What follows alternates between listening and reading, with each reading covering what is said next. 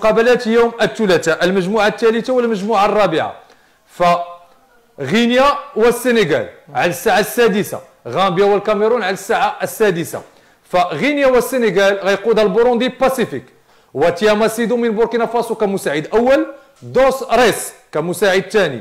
محمد معروف كحكم رابع والمغربي أزقاو الحسن غيكون كاحتياطي. أما الفار آتشو بيير من الغابون ومحمود أبو الرجال ك AVAR.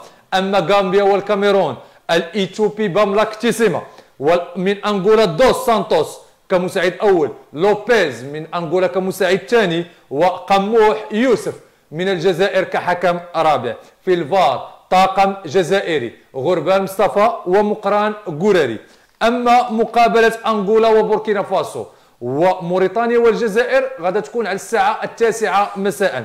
أنغولا وبوركينا فاسو اللي تكون على الساعة التاسعة تكون بقيادة الكونغولي جون جاك ندالا ويساعده المغربي الأنيق أكركاد مصطفى وأحمد طه كمساعد ثاني أما لويس من البنين كحكم رابع لويس من البنين هو الذي قاد مقابل جنوب افريقيا بالامس وازقاو الحسن للمرة الثانية. حكم احتياطي لأن المقابلة هذه ملعوبه في نفس الملعب اللي غادا تلعب فيه مقابلة غينيا والسنغال. إذا كحكم احتياطي غيكون في المقابلات بجوج.